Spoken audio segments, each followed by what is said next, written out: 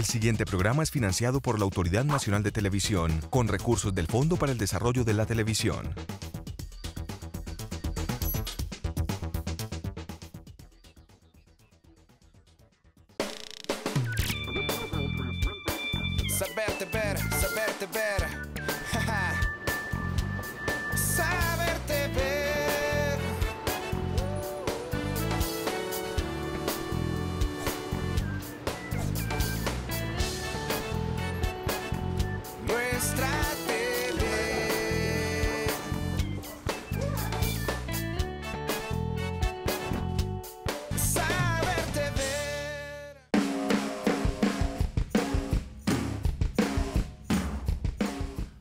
Historias que remitan y acerquen a los televidentes a las realidades de la región, el país y el mundo son apuestas que el canal en este 2014 tiene para ellos. Hoy en Saberte Ver les contamos qué pueden esperar de la programación de Teleantioquia con nuevos formatos que pretenden cautivar, integrar y mostrar a los antioqueños.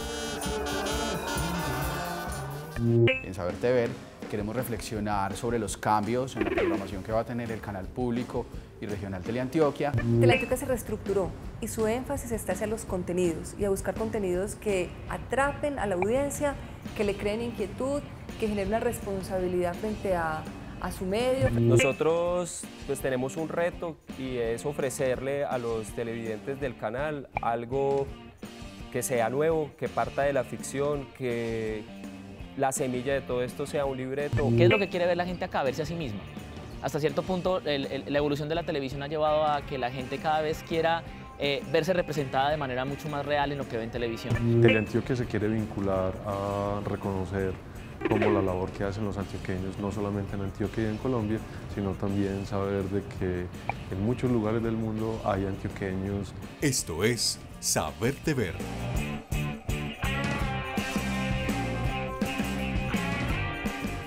Trabajar en la construcción de lenguajes comunes, nuevos modos de percibir, de sentir, de oír y de ver, de reconocer, representar y hacer televisión pública, de pensar la educación, el entretenimiento y la cultura, y ponerla en televisión de manera que los ciudadanos se apropien y comprendan la región, la diversidad y la memoria es la tarea de la televisión pública.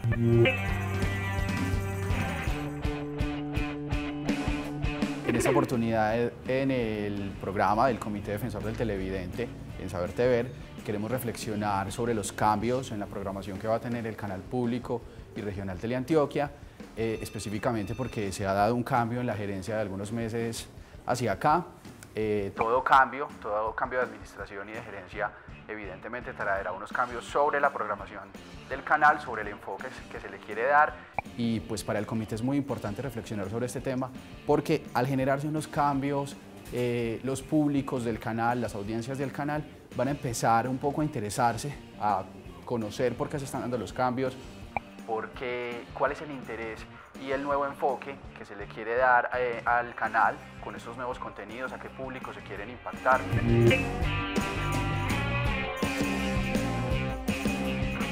La programación de la para el 2014 se basa en una estrategia de franjas horizontales, dirigidas a públicos específicos, a nichos específicos de población, no generalistas, sino a nichos específicos. Entonces, por la mañana vamos a tener entre la nueva programación, después de toda la franja informativa que comienza a las 6 de la mañana, desde las 9 y media hasta las 11, un programa muy especial que se llama Corazón Contento. Es un programa dirigido a mujeres y trata sobre todo de temas de bienestar. Cómo me siento bien conmigo misma, cómo me siento bien con mi entorno pequeño, cómo me siento bien con mi entorno más cercano, el más lejano, la región, el mundo. Se van a sorprender mucho del formato y de todo lo que trae este programa que va a ser en directo todos los días. Algunos televidentes de otras ciudades, diferentes a Medellín, han escrito al Comité Defensor del Televidente inquietos por la ausencia de contenidos como Vivir Mejor. En el mundo de la televisión hay temporadas. Terminó esta primera temporada de Vivir Mejor y continuamos con la primera temporada de Corazón Contento, donde también vamos a tener temas de salud vistos desde otra óptica.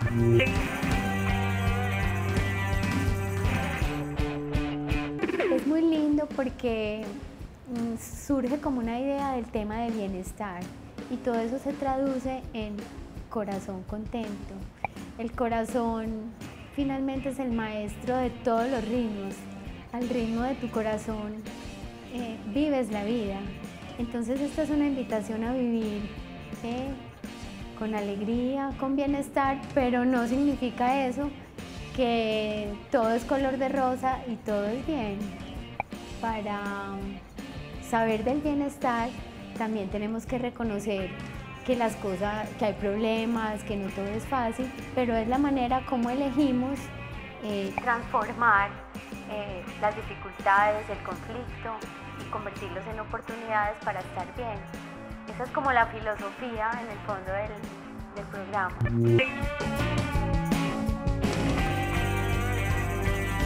Lo que buscamos es reivindicar ese papel de las mujeres, esa sabiduría que ellas tienen, ese conocimiento que ellas han adquirido con la experiencia.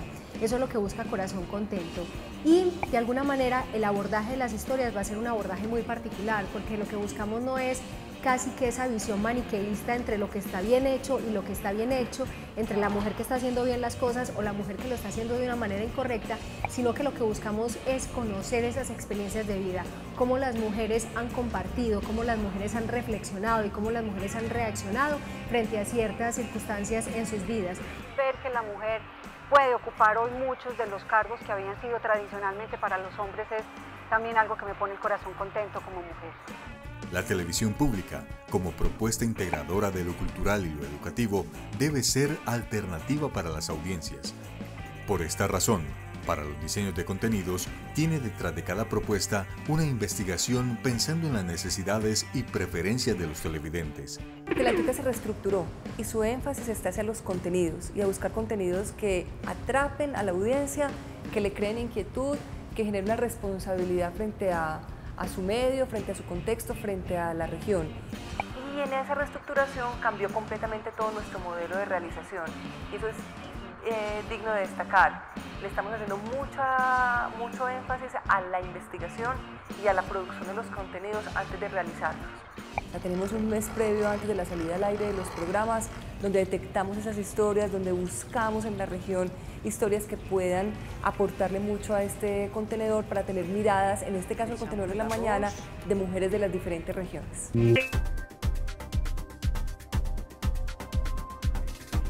Lo que se busca es que un canal local o un canal regional, en este caso Teleantioquia, eh, ofrezca una visión local global de lo que es Antioquia. Entonces poderle ofrecer a los televidentes de la región, porque igual es un canal que está pensado para Antioquia y sus zonas cercanas, digamos de alguna manera, lo que ellos quieren verse desde el punto de vista de su identificación local o regional. Entonces es muy importante, primero que un canal se renueve, eh, para captar nuevas audiencias, para fidelizar las audiencias que ya se tenían anteriormente, pero también dar una nueva oferta, eh, ofrecer unos nuevos contenidos y unas nuevas opciones a los televidentes. Son varios los contenidos que llegarán con novedades, con la intención de atrapar a los televidentes y ofrecer un valor agregado con dinámicas que marquen diferencia y permitan llegar a diferentes públicos.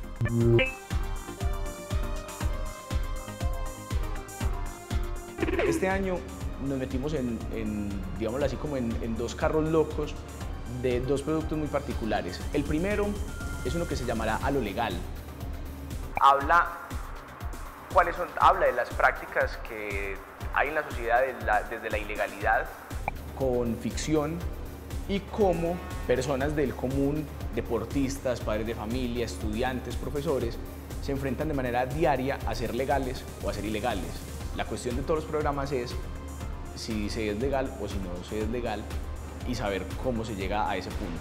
Y continuamos también dentro de estos cambios de programación un enfoque fuerte desde muy temprano en la tarde en el público infantil y juvenil.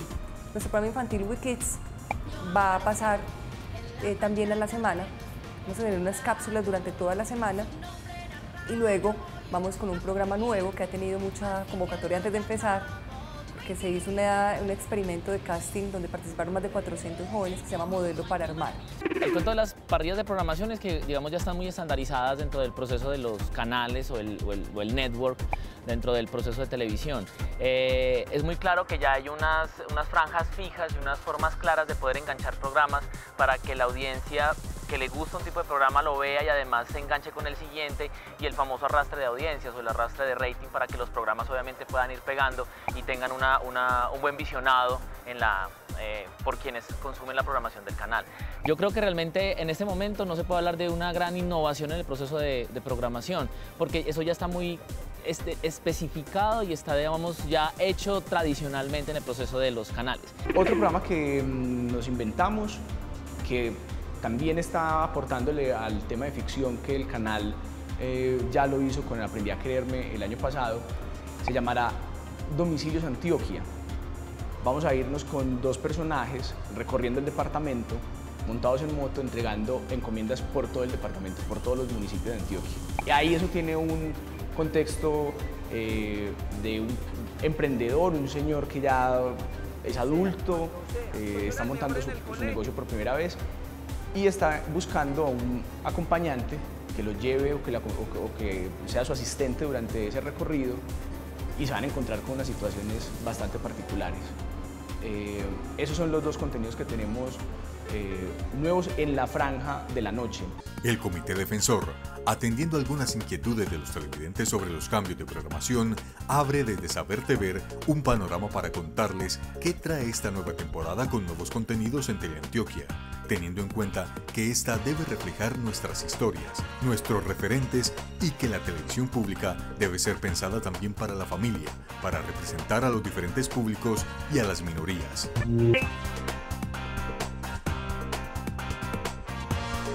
Estamos trabajando en un contenido juvenil de entretenimiento que nace de la ficción. Eh, vamos a tener muchas puestas en escena, vamos a tener también unas eh, secciones o tipologías donde queremos mostrar lo que hacen los jóvenes y también eh, digamos que metido entre esas secciones, unas puestas en escena donde un grupo de jóvenes que representan eh, ciertas personalidades de, los jóvenes de Antioquia, pues eh, como ellos hacen un programa de televisión, eh, intentando tener fama y fortuna con, con esto. Lo interesante de Modelo Paranormal es que es una propuesta de donde cada personaje tiene un doble rol. O sea, somos personajes, pero también somos parte del equipo de producción de Modelo Paranormal. Yo soy directora en la ficción y en la vida real soy realizadora. Daniel es libretista en la vida real y en la ficción es libretista.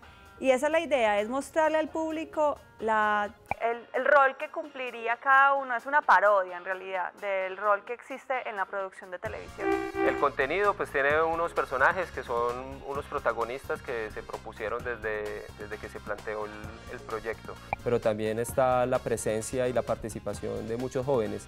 Muchos de ellos salen de una base de datos que que quedó de un casting que hicimos, que fue digamos que el inicio de, este proceso.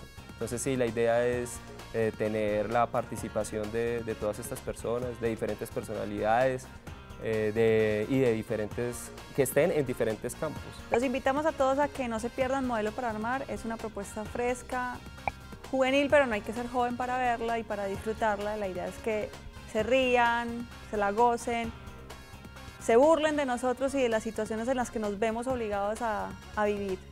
Queremos tener representación eh, de las regiones a través de material que ellos mismos nos envíen. Y este va a ser recopilado y va a ser editado para que se conviertan en notas o en secciones del, del programa. Nosotros pues tenemos un reto y es ofrecerle a los televidentes del canal algo que sea nuevo, que parta de la ficción, que, la semilla de todo esto sea un libreto, ofrecer un contenido que sea más enfocado hacia, hacia cómo se aborda un seriado en cuanto a producción y en cuanto a la entrega y, cómo se muestran esos capítulos. Sí nos estamos esforzando para, que sea algo diferente a lo que normalmente vemos o tenemos metidos en la cabeza como televisión juvenil o franja juvenil o propuesta juvenil. Entonces sí, sí queremos pues de manera también experimental, pero muy centrados eh, dentro o en lo que hacemos de, hacer un, un contenido de una propuesta una propuesta nueva. Antioqueños de Mundo es otra propuesta documental que se está emitiendo por Teleantioquia con la visión de nueve antioqueños que tienen muchas experiencias por compartir.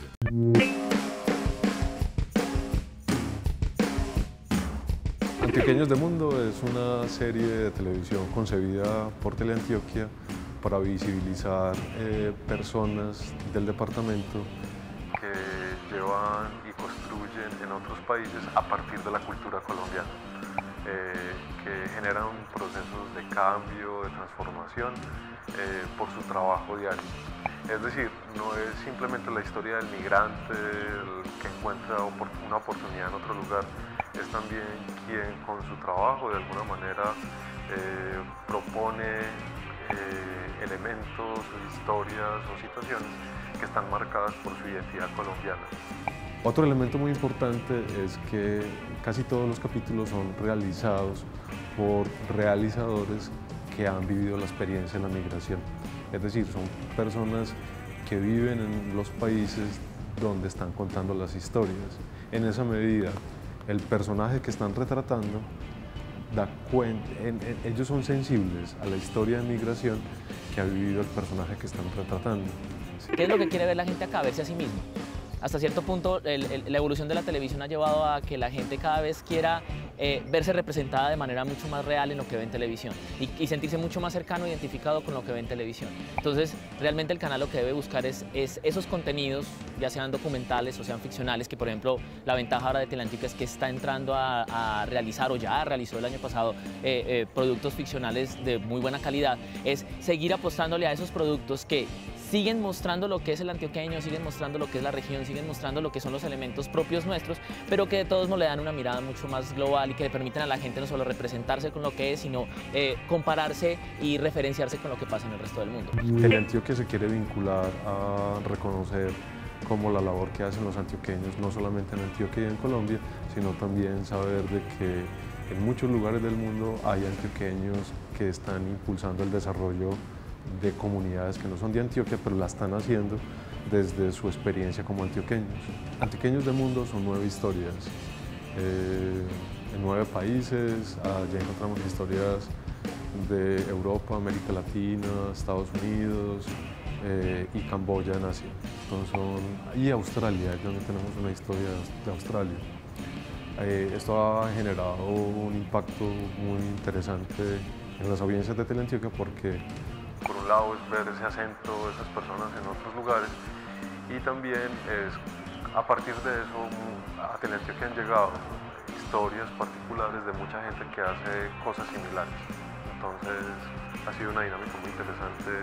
No solo conocer las historias de los nueve capítulos de Antioqueños del Mundo, sino a través de la página web muchas personas han contado, yo también soy un antioqueño del mundo y he hecho esto en otros lugares del mundo con mi experiencia de colombiano.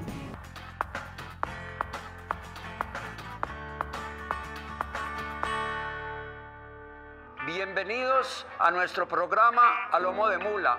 Hoy estaremos hablando del adiestramiento. De... A Lomo de Mula llegó este nuevo contenido con Don Ovidio, más conocido como la Biblia de las Mulas que desde su conocimiento de más de 65 años quiere enseñar sobre la historia, crianza y manejo de los mulares.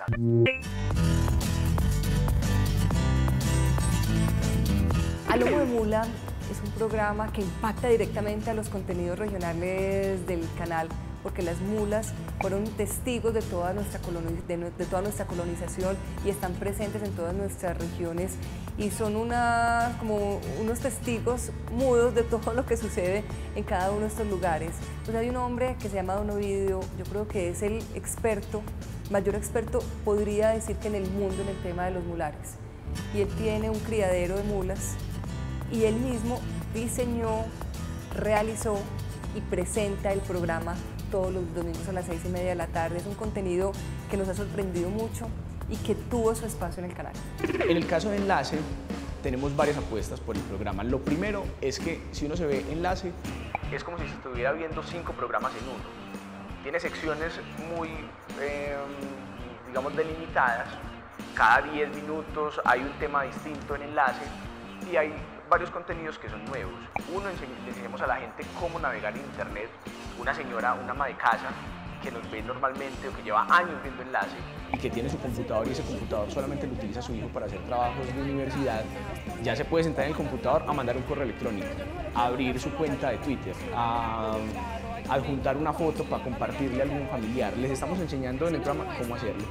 Y además de eso, todos los viernes Héctor se va con algunos amigos que tiene él en Serenata y se va a entregarle serenatas a las personas que nos escriben diciendo, vea, yo tengo un club de vida y tenemos 200 personas acá y hay dos que están cumpliendo años el viernes. Entonces nos mandan un correo y nos dicen, nosotros queremos tener a Héctor este día en, nuestra sede comunal o mi hija cumple 15 años, o mis abuelos cumplen 50 años de casados. Entonces estamos entregándole a ellos otro producto de enlace en el área metropolitana. Eso ha hecho pues que la gente nos llame, nos escriba, nos ponga en las redes sociales que quieren verlo. Los videos de la gente salen en el programa. Cada semana estamos en un enlace en directo. Salimos con Yasmín en estudio y Héctor en cualquier otra parte del área metropolitana. Mientras que Héctor se va a dar serenatas, Yasmín todos los viernes busca a una persona de su público que vaya y le ayude a presentar el programa. Entonces la convocatoria es para que las personas también se sientan más incluidas en la programación que nosotros estamos haciendo. Urabá, su raza, su gente, su cultura y las historias que pueden ser desconocidas para las personas de otras regiones de Antioquia, también llegó a la programación de Teleantioquia con Urabá, un mar de oportunidades.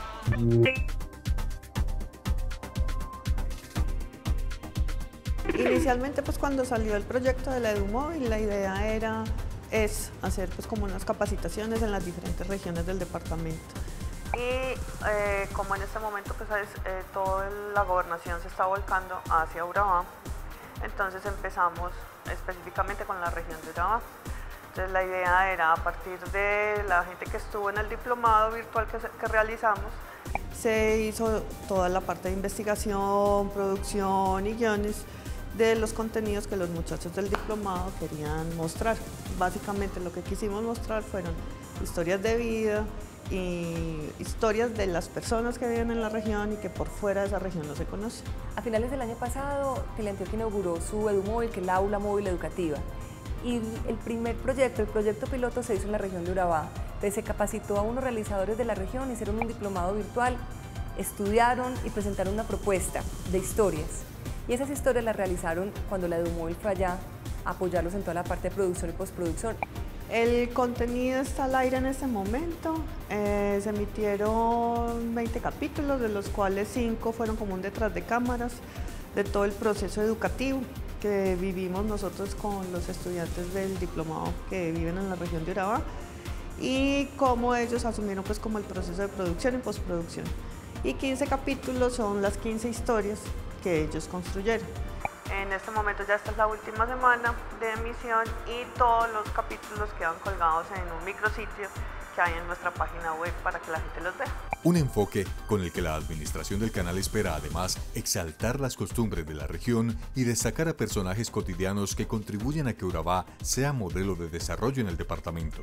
Las historias las definieron los mismos muchachos. Ellos eh, buscaron los personajes que más representaban a su región, a su municipio, que más se destacaban o que tenían historias para contar.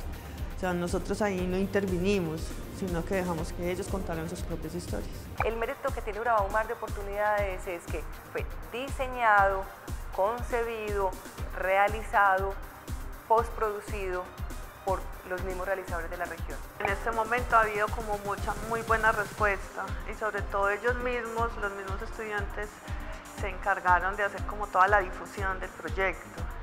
Entonces incluso en emisión también le ha ido bien, pues ha marcado, viendo que es muy difícil que marque un programa de cinco minutos cuando está enfranjado, eh, ha marcado yo creo que es mucho por la difusión que ellos mismos han hecho de sus proyectos. Teleantioquia Deportes en esta nueva temporada trae transmisiones deportivas con novedades que llamarán la atención de diferentes públicos.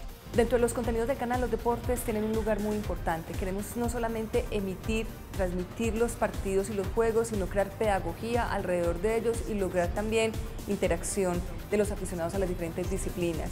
Y queremos incursionar en unos deportes que no tienen tanta pantalla. Ya tuvimos una prueba de automovilismo y tuvimos también eh, una experiencia que es la primera que se hace en la televisión pública en Colombia y fue la transmisión de fútbol americano. Eso exige también otra narrativa, otras búsquedas audiovisuales y otras oportunidades a la audiencia para que en el canal público tengan alternativas diferentes. Hay que analizar muy en profundidad lo que se puede hacer con relación a la segmentación de parrillas eh, pensando en públicos. Eh, el problema es que la entrada de los contenidos en Internet y el consumo en Internet ha, digamos, eh, borrado esas barreras que habían entre lo que consume un joven, un adulto o un niño y sobre todo no solamente qué consume, sino en qué momento lo consume. Y ahí es el chiste de la parrilla. La parrilla te dice a vos vos, vos como joven solo ves televisión entre 5 y 6 de la tarde. Eh, vos como niño ves televisión entre las 8 y 11 de la mañana. Vos como ama de casa ves televisión entre las 6 de la mañana y el mediodía. Y son ese, tipo de concepciones donde se le da un horario muy claro a cada eh, sector de edad o, población eh, para que consuma televisión. Y eso realmente cada vez se ha ido diluyendo porque las, digamos, las, los usos sociales del tiempo han cambiado. Contenidos como Generación 9 potencializarán su formato y se evidenciará aún más la participación de los televidentes. Generación 9, por ejemplo, eh, pasó su producción de los días de música, que normalmente son los miércoles a las 6 y 30 de la, de la tarde, los está grabando todos los sábados, cada mes y hace que cuatro agrupaciones de música de la ciudad o del departamento lleguen hasta Teleantioquia invitando a televidentes del, programa para que asistan y vean esos conciertos. Es una programación de todo el día, es un parche para la gente, para los pelados. Van y toman fotos, se llevan la camiseta del programa, se llevan agendas del canal, se toman fotos con sus artistas o los que llegan allá. Y esos conciertos ya se han convertido casi que en, una de las apuestas que tenemos para, para este año. Generación 9 además lanzó la primera serie web que tenemos de nuestros programas y la estamos estrenando todos los viernes a las 12 del día. Es un producto exclusivamente para, para lo digital. Solamente las personas que quieran ver la, la, serie web tienen que ir al fanpage del el programa y allá lo pueden eh, consultar. Queremos con cada uno de los programas lograr eso, comunidades interactivas y participantes dentro de los contenidos. El canal debe incentivar la participación ciudadana.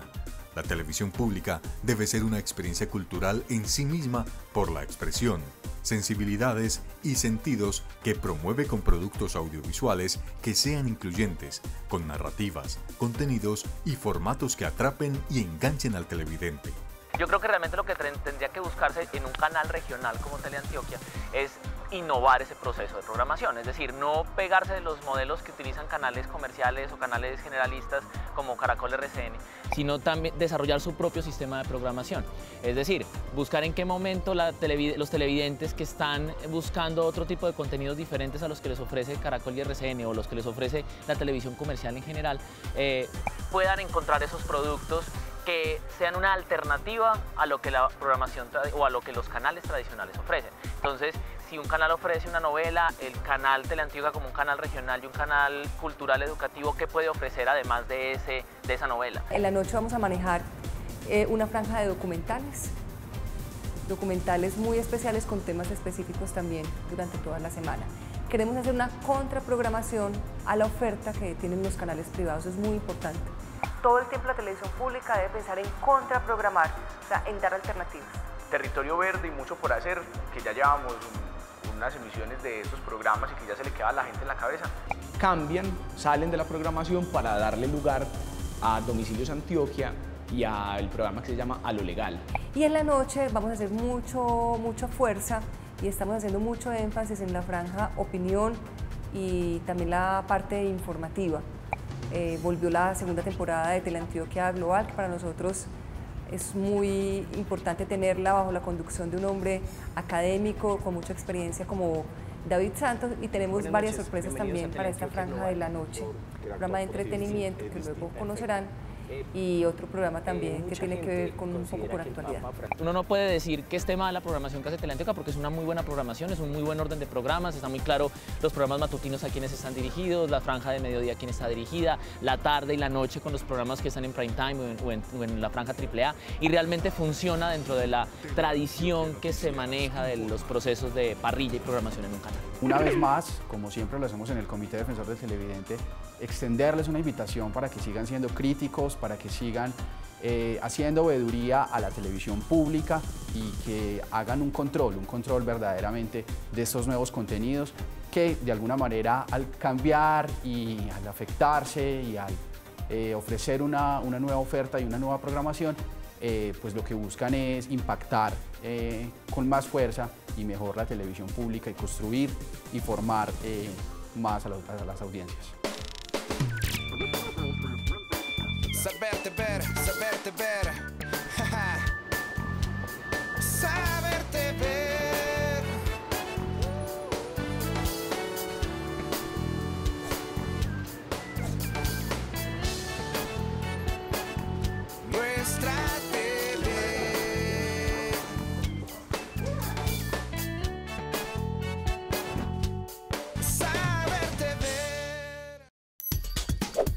El anterior programa fue financiado por la Autoridad Nacional de Televisión con recursos del Fondo para el Desarrollo de la Televisión.